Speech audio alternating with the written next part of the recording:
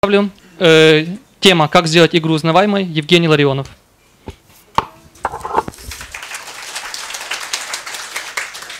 Всем привет. Я э, ну, как бы сам являюсь векторным художником. Мне бы, наверное, стоило рассказать о том, как рисовать, как э, придавать всякие э, характерные черты. Но я думаю, что собравшимся здесь это все будет не очень интересно. Я скорее расскажу, как использовать какие-то яркие персонажи в играх, как они помогают продавать игры, и как с их помощью можно на игре еще чуть-чуть, немножечко шить по ночам. То есть как можно еще чуть-чуть заработать помимо игры на этих персонажах. Э, сначала о инструментах.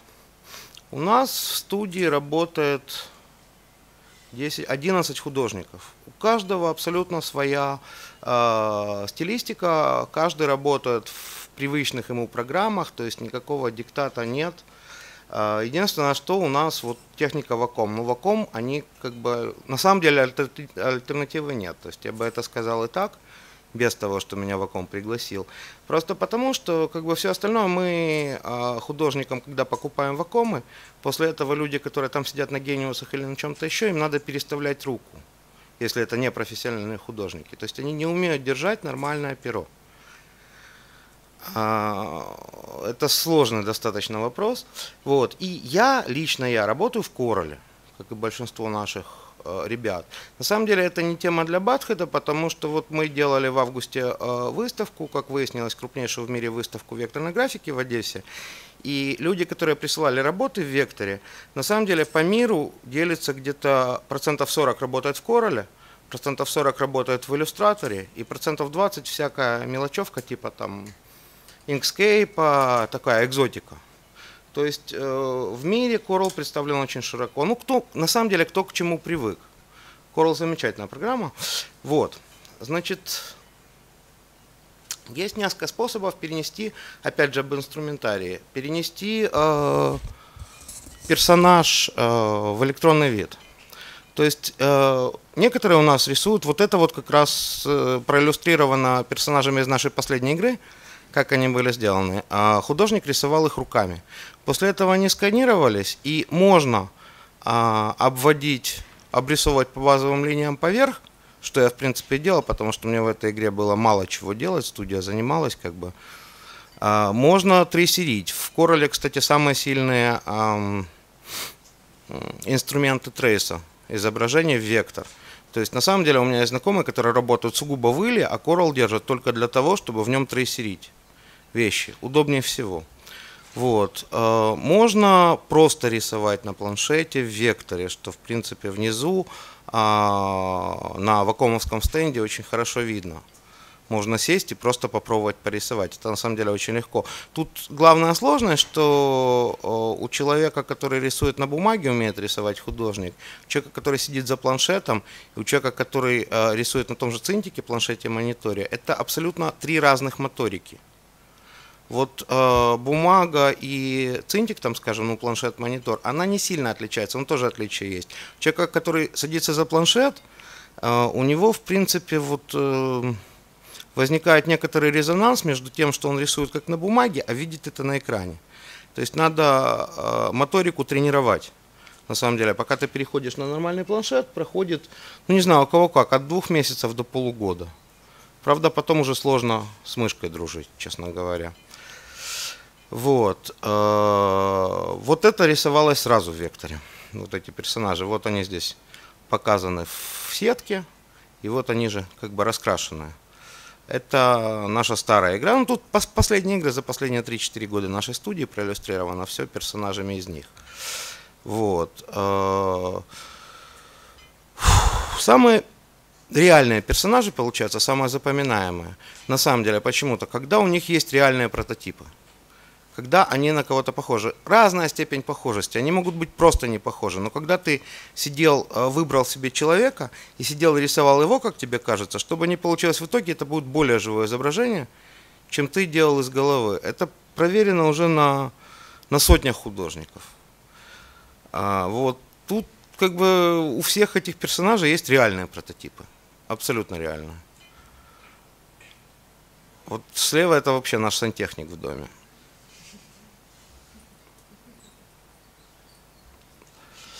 Вот. А, закон комиксов тут же действует. В играх он действует 100%. Самые яркие персонажи и персонажи, которые чаще всего запоминают, когда они используются в игре, чаще всего запоминает игрок, это отрицательные персонажи.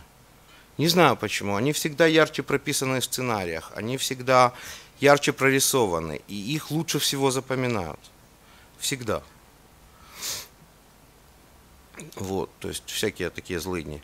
А, даже если игра типа HDO, то есть игра, в которой там мультипликационные вставки, либо какие-то комиксные вставки между локациями, развитие сюжета, либо что-то еще, когда есть какие-то персонажи, желательно рисовать э, персонажей в разных позах, в разных ситуациях от 2 там, до 15-16 каждого. А, тогда есть из чего выбирать, и плюс я потом объясню дальше, а, персонажи, которые даже не идут в игру, они все равно используются и работают. А, то есть э, разные ситуации, разные костюмы. Вот это э, есть такой большой очень портал iPhone Application List.com. Вот это их главный символ.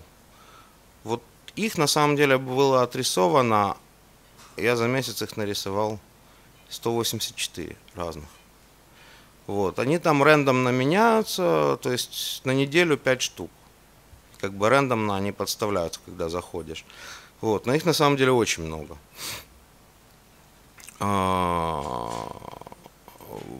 в играх стоит помнить о том, что персонажи, кстати, э, стоит подгонять под времена года. То есть, если ты выпускаешь обновление рождественское, опять же, даже если персонажи не связаны, как бы не участвуют в игре, участвуют там перебивками, заставками и так далее, то э, стоит делать там новогодние, весенние обновления, летние. Это все помогает продаже игры, на самом деле, вот эти апдейты.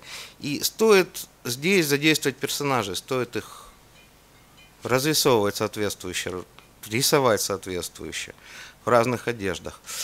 Вот. Э, ну, чем больше, я уже говорил, собственно, чем больше персонажей, тем легче как бы раскручивать игру, и тем а, легче использовать. Просто потому, что это все используется. Вот этих зомби у нас э, отрисовано 24, на самом деле в игре участвуют, не помню, 15, по-моему, вообще. То есть пользователь видит в игре. Но э, для раскрутки игры, скажем, э, мы запустили такую штуку, как э, бесплатное приложение с обоями из этой игры которая вдруг скачала ну, примерно половина. То есть, если игрушку там в течение полугода скачала, по-моему, 300 тысяч пользователей App Store, то эту штуку за месяц скачала около 100 тысяч. И бесплатно обои просто с персонажами игры, даже без указания игры. Вот. И это очень сильно поднимает продажи. Характерные герои лучше гораздо лучше раскручивают игру, и, и герои, которые имеют какие-то яркие эмоции, яркие отличительные детали, они гораздо лучше раскручивают игру, чем, скажем, какие-то нейтральные, чем ну, просто тот же тупо стоящий Холмс или какой-нибудь эльф. То есть, если этот эльф будет, пардон, блевать в углу или что-то еще, то э, люди, которые это увидят, э, скачают в два раза больше людей такую игрушку, которая увидит вот единственного персонажа из нее. То есть можно э, относиться к этому по-разному, но это реально помогает продавать, продвигать игру. Вот, э, значит, э, у нас получилось, вот совсем недавно я с этим столкнулся, получилась абсолютно уникальная ситуация, когда нам начали вдруг э, заказывать персонажей из нашей игры существующие. Люди хотели их на футболке, на майке, вплоть до того, что мы артбук выпустили на Амазоне. Вот. И мы столкнулись с несколькими магазинами. Есть э, такой тип бизнеса, называется Print and Package. Очень сильно помогает э, при самой раскрутке игры. И плюс к этому, э, в принципе, ну это несравнимо, конечно, с деньгами от игры, но они дают существенный доход на самом деле.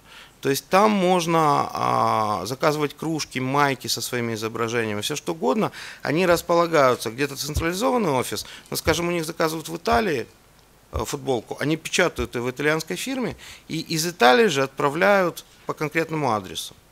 И так по всему миру. Вот несколько, на самом деле их вменяемых не очень много. Вот кафе Пресс, Херлес, они хорошие. Вот есть русский Принтиуру, но у него беда в том, что он как бы не работает, он, они отправляют по всему миру, но они не работают с английским языком вообще, сам сайт.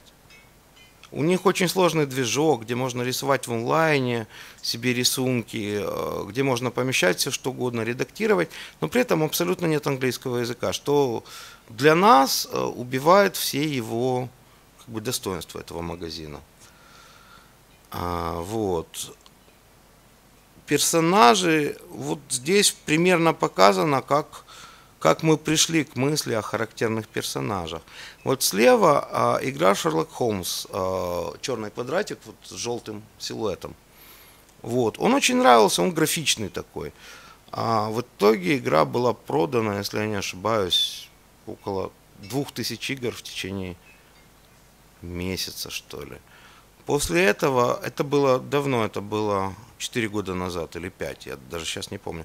После этого мы сменили а, иконку с главным персонажем, как вы видите. Игра была продана за месяц, кроме апдейта, больше 100 тысяч раз. То есть абсолютно неожиданно. То же самое справа. Но справа это, это у нас есть такой кролик для тестирования. У нас есть часть бесплатных игр – на которых мы экспериментируем. Мы подставляем разные рожицы на эти вот, ну из персонажей игры, кстати, на иконки мы подставляем а, всякие, пытаемся эти вот продающиеся дополнения и так далее. И пробуем, что сработает, что нет. Но вот слева, например, учитывая, что она бесплатная, учитывая, что ничего не изменилось в раскрутке, собственно. А когда был малиновый значок у игрушки. Ее скачали. Скачки были в районе 5, по-моему, 7 закачек в день. Когда мы сменили значок на зеленый, а, в первую же неделю было, по-моему, 7 или 8 тысяч закачек. Вот. То есть люди, видя в, на главных страницах, если не фьючерится игра, то не на главных, листая, они реагируют в первую очередь на какие-то характерные яркие пятна, на эмоции.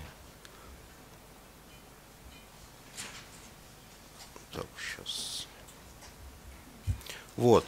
Собственно, а, еще о чем бы я хотел сказать, а, что инструменты в любом случае, программы, инструменты, а, они могут быть какими угодно. Но это должны быть профессиональные. Вот Вакому в этом случае легче гораздо, потому что ну, у Вакому просто нет альтернативы. Это единственная, единственный производитель профессиональной техники для художников. Также у Coral есть программа, которая у которой нет альтернативы. Coral Painter. Это единственная существующая профессиональная программа для художников. Других нет. Именно поэтому как бы Painter нигде не рекламируется, потому что там у того же Coral Draw иллюстратор. Вот. В разных странах относятся по-разному. Вот по опыту художников Индонезии, там которых даже не знаю, тысяч сорок векторщиков в Индонезии – у них илом владеют реально пару тысяч всего из них. Вот. В Англии, например, наоборот. Коралом владеет достаточно мало людей, больше владеет илом. Ну тут они бодаются постоянно, это вопрос скорее цены а, становится. Ну, вот как бы, как бы так. Я чуть-чуть не подрасчитал, получилось чуть покороче. Вот. Поэтому, если есть вопросы. Да. Вопросы? Есть. А, здравствуйте. Скажите, пожалуйста, вот вы э, говорили, что вы продавали свою книгу, да, артбук на Амазоне. А как это у нас в Украине делается с юридической точки зрения? Легко это сделать, продавать вот в США на Амазоне что-то или это нужно какие-то финты, не знаю? Юридически мы гонконгская фирма. Спасибо. Хорошо. Мы успели по времени. И давайте поблагодарим Евгения.